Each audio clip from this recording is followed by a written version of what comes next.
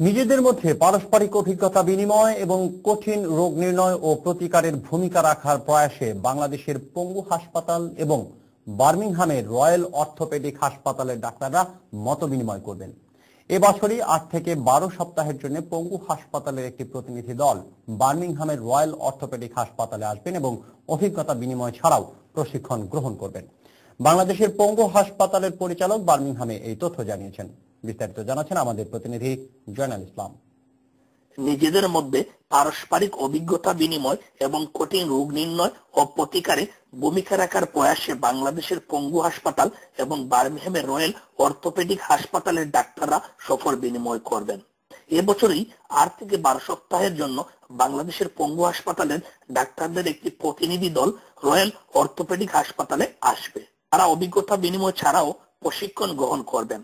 ব্রিটেনে সফররত বাংলাদেশের পঙ্গু হাসপাতালের পরিচালক অধ্যাপক ডক্টর খন্দকার আব্দুল্লাহ রেজবি এ তথ্য জানিয়েছেন। বৃহস্পতিবার বার্মিহামের রয়্যাল অর্থোপেডিক হাসপাতালের উদ্যতন কর্মকর্তাদের বৈঠকের পর তিনি এ তথ্য জানান। আমাদের ডাক্তার যারা আসবে, তারা এখানে উন্নত পরিবেশে কীভাবে চিকিৎসা সেবার মানটা দিচ্ছে এখানে, কীভাবে চিকিৎসা করছে এবং উন্নত চিকিৎসাগুলো শিখে বাংলাদেশের আমাদের আরও যারা ডাক্তার যারা আছে, তাদেরকে তারা অনুপ্রাণিত করতে পারবে। বৈঠকে রয়্যাল অর্থোপেডিক হাসপাতালের chairman Brian Jackson chief executive Graham Bagg surgeon Simon কাটারো Bangladesh medical অ্যাসোসিয়েশনের সাবেক সভাপতি ডাক্তার বদরুল সিদ্দিকী উপস্থিত ছিলেন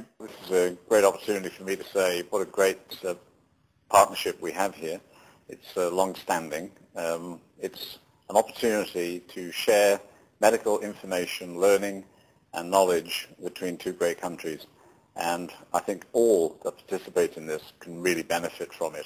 So we are heavily committed and heavily supportive of this op- operation. It's got to be a reciprocal relationship and we've got to enjoy it.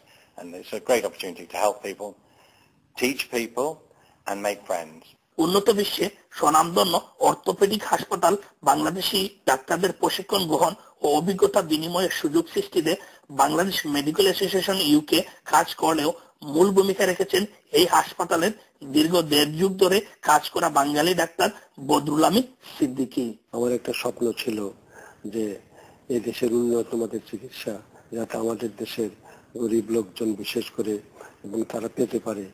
আমি আজকে এই প্রান্তে এসে এতই খুশি যে আমার স্বপ্নটা সম্পূর্ণভাবে সফল হতে যাচ্ছে।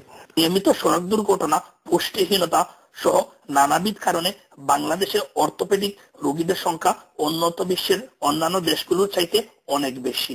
বাংলাদেশি ডাক্তাররা ব্রিটেনে এসে প্রশিক্ষণের মাধ্যমে তাদের অভিজ্ঞতা বিনিময় ছাড়াও আধুনিকরণ ও উন্নত প্রযুক্তির ব্যবহার অবলোকন করে বাংলাদেশ গিয়ে অর্থোপেডিক চিকিৎসায় যুগান্তকারী ভূমিকা রাখতে পারবেন বলে সকলেই প্রত্যাশা করছেন। Joynal Islam ATN Bangla UK